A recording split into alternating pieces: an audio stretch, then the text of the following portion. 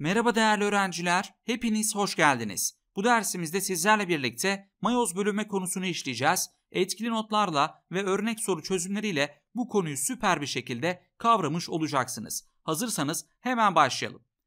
Sevgili arkadaşlar şöyle çevremize baktığımızda insanlardan bitkilere, bitkilerden hayvanlara kadar aynı tür canlıların birbirine benzemediğini görürsünüz. İşte arkadaşlar bu farklılığın sebebi mayoz bölünmedir. Mayoz bölünme sayesinde canlılar farklı genetik yapılara sahip oluyorlar. Farklı genetik yapılarından dolayı da farklı şekillerde görünmüş oluyorlar. Hatırlayacaksınız mitoz bölünme çok hücreli canlılarda büyümeyi, gelişmeyi ve onarımı sağlıyordu. Tek hücreli canlılarda ise üremeyi sağlıyordu. Fakat mayoz bölünmede böyle bir karışıklık söz konusu değil. Mayoz bölünmenin bir tane görevi var. Ne diyeceksiniz? Mayoz bölünme sonucunda üreme hücreleri oluşur diyeceksiniz. Bitti. Gelin şimdi sizlerle birlikte mayoz bölünmenin özelliklerini tek tek inceleyelim. Arkadaşlar bir kere bütün hücreler mayoz bölünme geçiremiyor. Unutmuyorsunuz mayoz bölünme üreme ana hücrelerinde gerçekleşir. Yani insanlarda yumurta ana hücresi veya sperm ana hücresi mayoz bölünme geçirebilir. Bunun dışında insanlarda mayoz bölünme geçirebilecek bir hücre yok. Burası çok önemli. Mayoz bölünme sonucunda 4 tane üreme hücresi oluşur. Bakın üreme hücresi oluşuyor. Mayoz bölünmeyi geçiren üreme ana hücresi. Bu ikisi çok karıştırılıyor. Lütfen bu kısma odaklanın. Tekrar etmekte fayda var. Mayoz bölünme geçiren hücre yani en tepede gördüğünüz tek hücre ne olmak zorundaymış? Üreme ana hücresi olmak zorundaymış. Bölünme gerçekleşti. 4 tane hücre oluştu. Bu oluşan hücreler arkadaşlar ana hücre değil dikkat ediyorsunuz bunlar üreme hücreleri. Bir örnek vermek gerekirse mesela yumurta ana hücresi mayoz geçirdiğinde 4 tane yumurta hücresi oluşur. Farkı kaptık mı? Umarım kapmışızdır. Devam ediyoruz, geçiyoruz diğer bilgimize. Arkadaşlar, mayoz bölünme sonucunda kromozom sayısı yarıya iniyor. Unutmuyorsunuz mitoz bölünmede kromozom sayısı değişmiyordu. Fakat mayoz bölünmede ne oluyormuş? Kromozom sayısı yarıya iniyormuş. İnsanlarda üreme ana hücrelerinde 46 kromozom bulunur. Arkadaşlar mayoz bölünme sonucunda birinci aşamada kromozom sayısı otomatik olarak yarıya iniyor. Yani 2 tane 23 kromozomlu hücre oluşuyor. İkinci aşamada bu hücreler bir daha bölünüyor ve totalde arkadaşlar son durumda 4 tane üreme hücresi oluşuyor. Bunların kromozom sayısı da yine 23'tür. Yani gördüğünüz gibi 46 kromozomlu bir üreme ana hücresinden 4 tane 23 kromozomlu üreme hücresi oluştu. Bakın ne oldu? Kromozom sayısı 46'dan 23'e indi. Yani kromozom sayısı yarıya iner diyoruz. Mayoz bölünme arkadaşlar kalıtsal çeşitlilik sağlıyor. Yani mayoz sonucunda canlıların genetik yapıları birbirinden farklı oluyor. Böylece canlılar birbirine benzemiyor. Hatırlayacaksınız mitozda kalıtsal özellikler değişmiyordu. Şemaya baktığınızda mayoz bölünmenin iki aşamada gerçekleştiğini rahatlıkla görüyorsunuz. Yine mitozla karşılaştırırsak mitoz bölünme bir aşamada gerçekleşiyordu fakat mayoz bölünme iki aşamada gerçekleşiyor.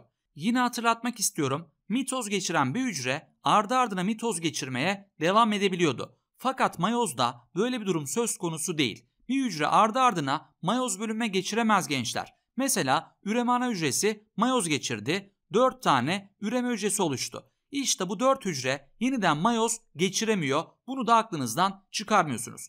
Evet şimdi mayozla alakalı önemli bir notumuz var. Bu kısma odaklanıyorsunuz. Sevgili öğrenciler biraz önce bahsetmiştik. Mayoz bölünme sonucunda kromozom sayısı yarıya iniyordu. İşte arkadaşlar bu özellik sayesinde türe ait kromozom sayısı nesiller boyu sabit kalıyor. Gelin bu olayın nasıl gerçekleştiğine beraberce bakalım. Babada sperm ana hücresi var, annede yumurta ana hücresi var. Bakın bunlar 46 kromozomlu hücreler. Bunlarda ne gerçekleşiyordu? Mayoz bölünme gerçekleşiyordu ve bu bölünme sonucunda üreme hücreleri oluşturuluyordu. Ne olacak mayoz sonucunda? Kromozom sayısı yarıya inecek. Yani sperm ana hücresi mayoz geçirecek ve 23 kromozomlu sperm hücreleri oluşacak.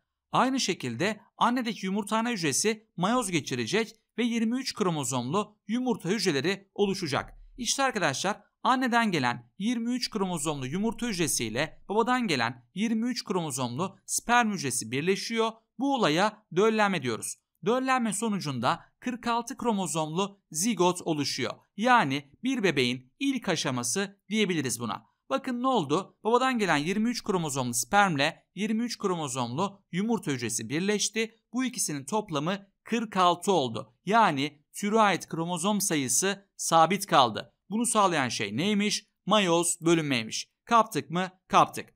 Bundan sonra büyüme ve gelişme olayı neyle sağlanacak? Mitoz bölünmeyle sağlanacak. Dolayısıyla kromozom sayısı zaten değişmeyecek. Zigot anne karnında büyüyüp gelişip embriyo oluşturacak. Yine arkadaşlar embriyo 46 kromozomlu. Devam ediyor mitoz bölünmeler. Embriyo büyüyor, gelişiyor. Fetüsü ardından da bebeği oluşturuyor. Yine arkadaşlar bebek 46 kromozomlu diyoruz. Yani burada büyüme ve gelişme olayı arkadaşlar mitozla gerçekleşti. Üreme hücrelerin oluşturulması ise mayozla gerçekleşti diyebiliriz. Bu şema çok önemli. Lütfen bu kısmı iyi bir şekilde kavrayın. Evet artık mayoz bölünmenin evrelerine geçebiliriz. Mitoz bölünmeden hatırlayacaksınız. En başta arkadaşlar ne gerçekleşiyordu? Bir hazırlık evresi gerçekleşiyordu değil mi? Burada çekirdeğin içerisinde bildiğiniz gibi DNA var. DNA arkadaşlar hazırlık evresinde kendini eşliyor. Yani iki katına çıkarıyor. Bu evrede arkadaşlar ayrıca organellerin sayısı arttırılıyor ve enerji üretimi hızlanıyor. Kısacası hücre bölünmek için hazırlık yapıyor. DNA kısalıp kalınlaşmaya başlıyor ve özel proteinlerle birleşerek kromozomları meydana getiriyor. Bakın bir sonraki evrede artık kromozomları net bir şekilde görebiliyoruz. Bu evrede kromozomlar oluşuyor ve arkadaşlar yine iyi iplikleri meydana geliyor. Bu iyi ipliklerini hatırlayacaksınız mitoz bölünmeden. Ne yapacaklar bunlar? Kromozomları yakalayacaklar. Değerli arkadaşlar sağ taraftaki evrede gördüğünüz kromozomlar homolog kromozom olarak adlandırılıyor.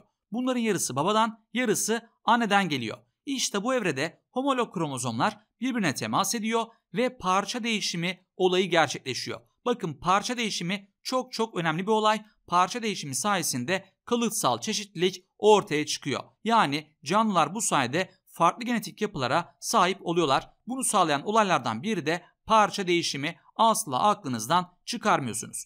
Evet devam edelim. Bundan sonraki evrede homolog kromozomlar hücrenin ortasına karşılıklı olarak diziliyorlar. Bakın bu da çok önemli. Mitozda kromozomlar hücrenin ortasında yan yana sıralanıyordu. Ne demiştik? Sanki kromozomlar halay çekiyor demiştik. Yani yan yana ip gibi dizilmişlerdi. Fakat mayozda böyle bir durum söz konusu değil arkadaşlar. Bakın bu bir farklılıktır. Asla unutmuyorsunuz. Mayozda homolog kromozomlar hücrenin ortasında karşılıklı olarak dizilirler. Bundan sonra iyi iplikleri kromozomları ortalarından yakalayarak zıt kutuplara doğru çekerler. Yine unutmuyorsunuz mitozda kromozomlar ortadan koparılıyorlardı. Yani kardeş kromatitler zıt kutuplara çekiliyorlardı. Fakat bakın mayozun birinci aşamasında kromozomlar ortadan ikiye ayrılmadı. Kromozomlar bütünsel olarak arkadaşlar zıt kutuplara çekildi. Yani buradaki kromozomlar aslında paylaşıldı. Kaptık mı? Bir sonraki aşamada boğumlanma ile birlikte sitoplazma bölünecek ve arkadaşlar kromozom sayısı yarıya inecek ve farklı kalıtsal özelliklere sahip iki tane hücre oluşacak. Şu anda mayozun birinci aşaması tamamen bitti. Geçiyoruz mayozun ikinci aşamasına. Mayozun ikinci aşamasında hiçbir farklı olay yok. Aynı mitoz gibi gerçekleşiyor.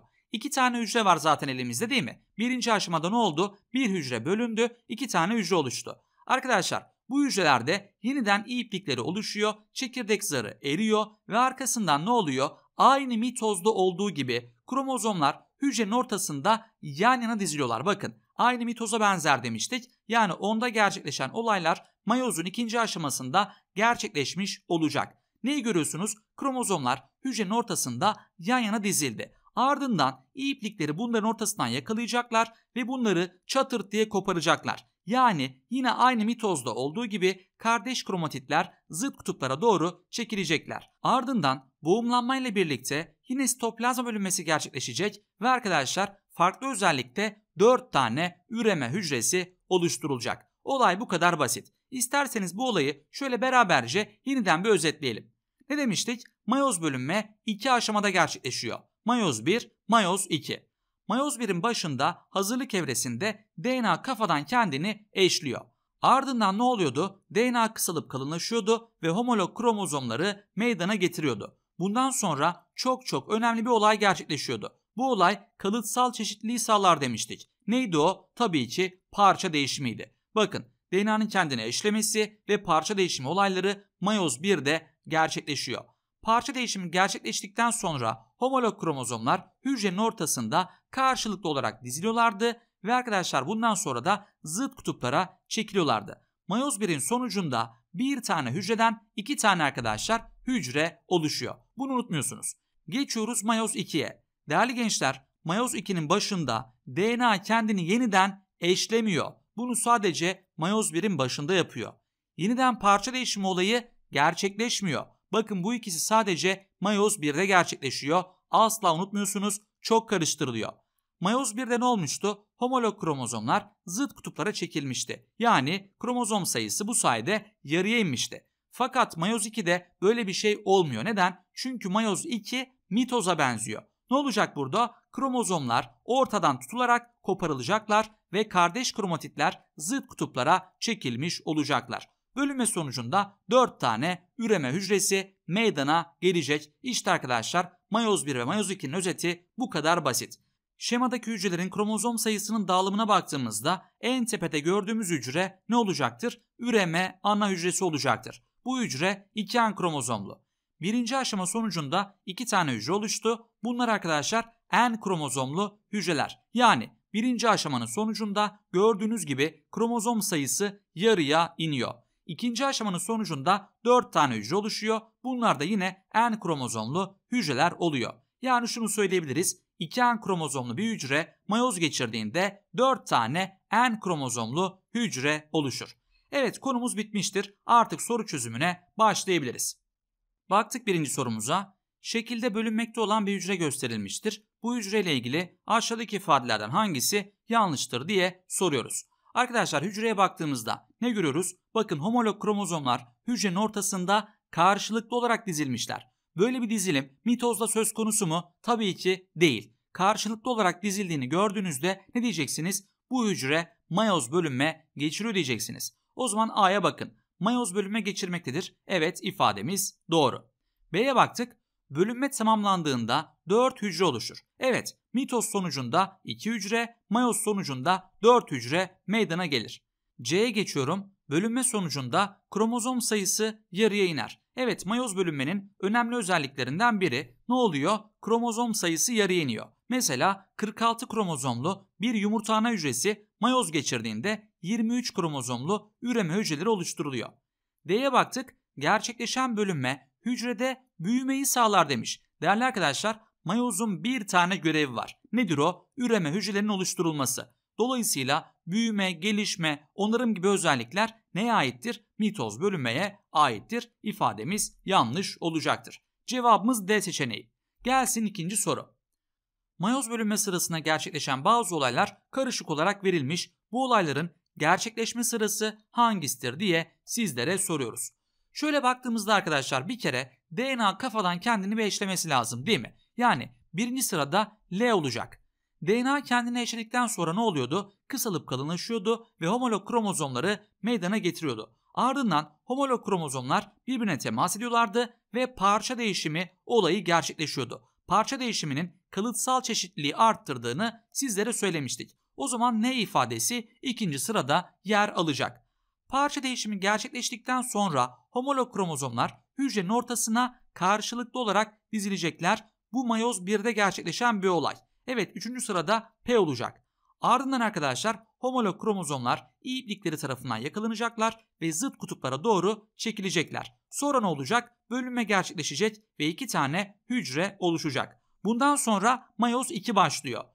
Mayozun ikinci aşamasında aynı mitozda olduğu gibi kromozomlar hücrenin ortasında yan yana dizilecekler. Ardından ne olacak? İplikleri bunları ortalarından yakalayacak ve çatırt diye koparacak. Ardından da kardeş kromatitler birbirinden ayrılacaklar ve zıt kutuplara doğru çekilecekler. Ve son durumda da arkadaşlar bölünme tamamlandığında 4 tane üreme hücresi oluşturulmuş olacak. Yani sıralama nasıl olacak? Birinci sırada L var, 2'de N var, 3'te P var, 4'te kim var? K var. En son ise arkadaşlar M gelecek. Sıralamamız LNP, KM şeklinde yani cevabımız A seçeneği olacaktır. Son sorumuza geçiyoruz. Süper bir soruyla final yapıyoruz. Arkadaşlar X hücresinde mayoz, Y hücresinde mitoz bölünme gerçekleşmiş. Buna göre aşağıdaki ifadelerden hangileri doğrudur diye soruyoruz. Şöyle baktığımızda X hücresi mayoz geçirdi. Son durumda 4 tane hücre oluştu. Bunlardan birine K demişler. Diğerinde Y hücresi mitoz geçirdi. 2 tane hücre oluştu. Bunlardan birine L demişler. Birinci ifadeye bakalım. Y ile L aynı, X ile K farklı sayıda kromozoma sahiptir diyor. Hatırlayacaksınız mitoz bölünme sonucunda kromozom sayısı değişmiyordu. Yani 2N kromozomlu Y hücresi mitoz geçirdiğinde yine 2N kromozomlu 2 tane hücre oluşur. Gördüğünüz gibi Y ile L'nin kromozom sayısı aynı olur. X ile K'ye bakalım. Burada X hücresi mayoz geçiriyor. Yani bu bir üreme ana hücresi. Dolayısıyla 2N kromozomlu olacak. Birinci aşamada 2 tane hücre oluştu. Bunlar N kromozomlu. Çünkü demiştik arkadaşlar birinci aşamada kromozom sayısı yarıya iniyordu. İkinci aşamada yine N kromozomlu 4 tane hücre oluşuyordu. Bakın şimdi X hücresi 2N kromozomlu fakat K hücresi N kromozomlu. Gördüğünüz gibi bunların kromozom sayıları farklı. Dolayısıyla ifademiz doğru oldu. 2'ye baktık. X hücresindeki bölünme üreme hücrelerinin oluşmasını, Y'deki ise onarımı sağlayabilir diyor. X'teki bölünme ne? Mayoz bölünme. Tabii ki üreme hücrelerinin oluşmasını sağlayabilir. Y'deki ise mitoz bölünme. Bu da arkadaşlar onarımı sağlayabilir. Hatırlayacaksınız mitoz bölünme çok hücreli canlılarda büyümeyi, gelişmeyi ve onarımı sağlıyordu. Gördüğünüz gibi ifademiz yine doğru oldu. 3'e baktık. X yumurta hücresi, Y ise kas hücresi olabilir demiş. Bakın lütfen bu kısma odaklanıyorsunuz. Çok fazla yanlış yapılıyor. Değerli gençler, mayoz bölünme geçiren hücre, yumurta ana hücresi veya sperm ana hücresi olabilir. Yani X hücresi, yumurta hücresi ya da sperm hücresi olamaz. Ne olacak bu? Yumurta ana hücresi veya sperm ana hücresi olacak. Oluşan hücreler yani şuradaki 4 tane hücre ise üreme hücresidir. Şurada gördüğünüz 4 hücre sperm hücresi olabilir veya yumurta hücresi olabilir. Fakat bunlar da yumurta ana veya sperm ana hücresi olamazlar. Buradaki ana sözcüğü çok çok önemli. Sorunun yanlış olmasını bile sağlayabilir. Odaklanıyorsunuz. Bu tip soruları asla kaçırmıyorsunuz. X hücresi ne olamazmış? Yumurta hücresi olamazmış. Ne olabilirmiş? Yumurta ana hücresi olabilirmiş. Aynı şekilde biz kas hücrelerinin mitoz bölünme geçirmediğini biliyoruz. Dolayısıyla üçüncü ifade yanlış oldu. Cevabımız 1 ve 2 yani B seçeneği olacaktır. Değerli öğrenciler bu dersimizde sizlerle birlikte mayoz bölünme konusunu mükemmel bir şekilde işledik. Umarım verimli olmuştur. Diğer dersimizde görüşmek üzere. Sağlıcakla kalın, hoşçakalın.